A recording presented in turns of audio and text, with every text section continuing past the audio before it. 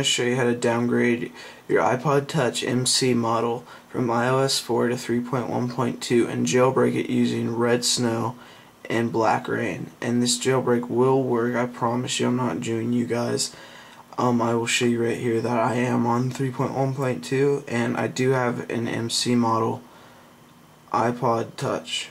And the only reason why I downgraded and is because you know, there was no jailbreak, and I've always wanted to jailbreak my iPod Touch, and it took some persistence, but I finally figured it out.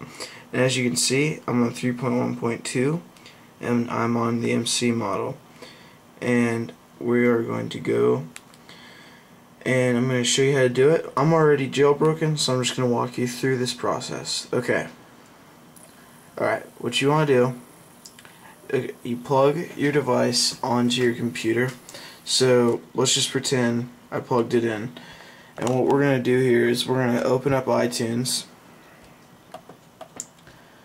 And once you open up iTunes, hold on, it's going to load for a second. And once you open up iTunes, you want to go to your uh, devices and it's going to show your iPod Touch. And where this thing says restore, I want you to click Shift while clicking restore at the same time. So when you're at, you know, when it's at devices and you're at your iPod Touch, uh, you click this button, you want to click shift. You want to click shift right here as you click restore and it will go to choose your file. And I'm to have the links posted up for all the stuff you need to download. You're to want to have your 3.1.2 firmware. You're to want to have your red snow and then you're going to want to have your black rain. And don't worry, I'm going to show you exactly what you need to do this, and this will work, I promise you. So once your device is on iTunes and you put it in recovery mode, I mean not recovery mode, when it's restoring to 3.1.2 from when it's downgrading. So what you want to do is once you press shift and restore, you find your file, you find your 3.1.2 firmware, and you use that firmware. It'll verify and then it'll downgrade your iPod Touch to 3.1.2 firmware. And then what you want to do once your 3.1.2 is over with, you want to go to Windows.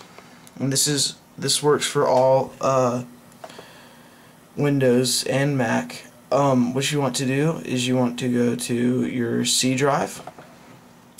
You want to go to let's see, program files. Then you want to go to, see, common files. And then once you get to common files, you click Apple. Then you go to Apple Applica Application Support. And this should look the same on your computer. And you want to take your Black Rain. This is to fix your Black Rain so it works on iTunes 9.2 and you want to drag it and I mean you want to copy it and paste it right by the ASL DLL problem and that will fix all the problems. So now what you want to do is you got that done. You want to make a shortcut of that copy that was just in there where the ASL DLL was and drag it down to right here. And the first thing you're going to do when your device has been restored to 3.1.2, you want to click on your red snow and you do not want to extract the files. So you click on it, you run Red Snow without extracting it, you just run it. And so once you extract the file, all you have to do is click run. You want to browse for your firmware, and then you want to set it for 3.1.2, and it's going to verify your firmware. And once it's verified, I'm just going to exit that. You click through, you set it up, you know, MC model, you know, all that stuff. And what's going to happen is it's going to jailbreak.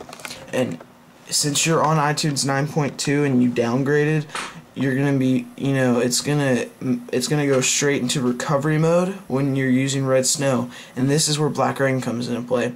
You click on Black Rain and you run it and it will work now that you got the ASL DL file working. See how I have it right there? You don't want to click on the shortcut I found out.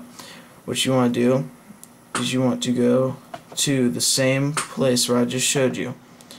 And you go back to your C drive and then you go back to program files. Oops. Program files. You want to go to Common Files. And then you want to go to Apple. And then once you get to Apple Application Support, you run it from there. And that's where you click. And that's where you click Make It Rain. And it will show Geohot's face the creator of this program, and it will jailbreak. And then you will be jailbroken. And if you are on the iPod Touch MC model, it will be tethered, which means every time it turns off, you will have to um, run Black Rain again. But no problem, you just go back to Common Files and then you click Make It Rain, and you'll be out of recovery mode. And you'll be back to your jailbreak. You will not lose any of your data. And I hope this helped you. Leave all your comments at the bottom, and that's about it.